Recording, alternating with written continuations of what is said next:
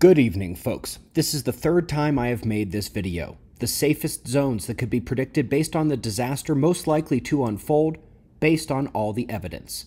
How do you know where to go? What tells you which areas are safe more than others?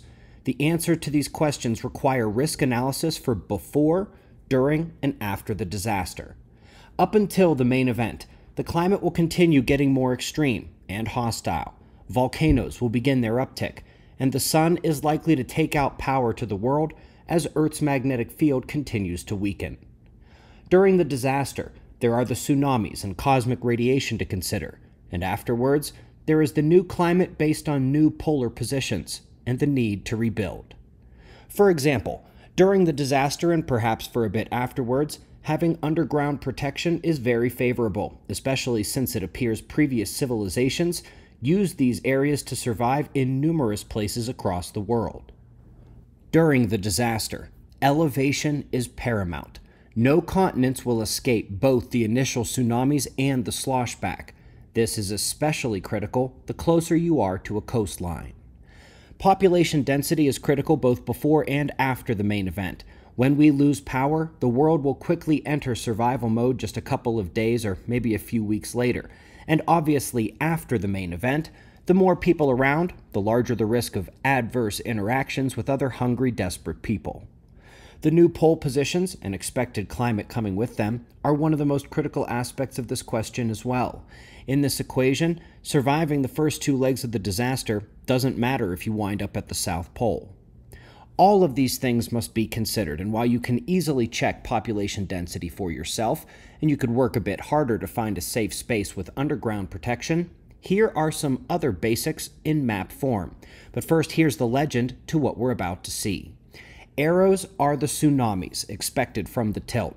Red would be the initial run up from inertia, yellow is the sloshback. But remember, there is always the potential for other tsunamis based on land rising and sinking. We'll see a good example of that when we get to Africa. Blue ovals are where it will be too cold, either when we lose power before the main event or afterwards in the new climate. Darker blue rectangles are going to show the safest zones given all that can be predicted, and the orange stars show where the crust is most likely to be an issue, either from volcanoes, earthquakes, or expected land rising or sinking. We'll begin with North America. Since Greenland is expected to tilt south and wind up at the equator, the waters will initially be surging northward, even though it's really the land moving south into those areas. That's bad news for the center of the United States and the Gulf of Mexico, likely to run up through the middle of the country.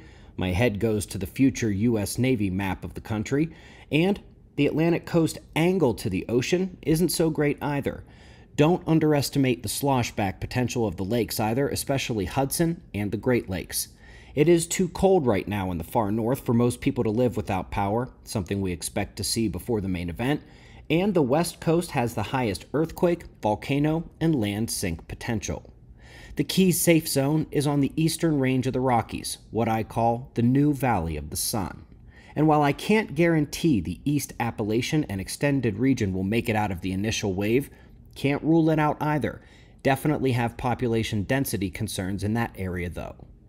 South America sees the same wave patterns, with the initial wave going north and the slosh coming south. Central portions of the west coast are likely to have the greatest earthquake activity. I didn't mark the radiation concern of the South Atlantic anomaly to the east coast countries, but that is a problem.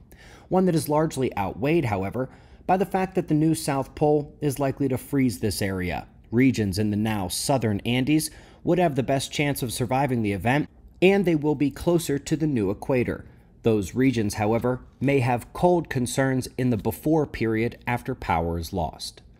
Africa is one of the axes of the tilt, so its tsunamis are likely to be less intense, unless, of course, land rises in the Atlantic, a very high possibility, in which case the west coast is going to get utterly obliterated by the water displacement.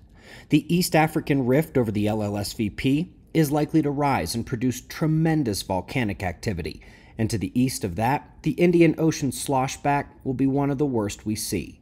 Not to mention that they can say goodbye to their warm climate, with Indonesia likely to become the new North Pole.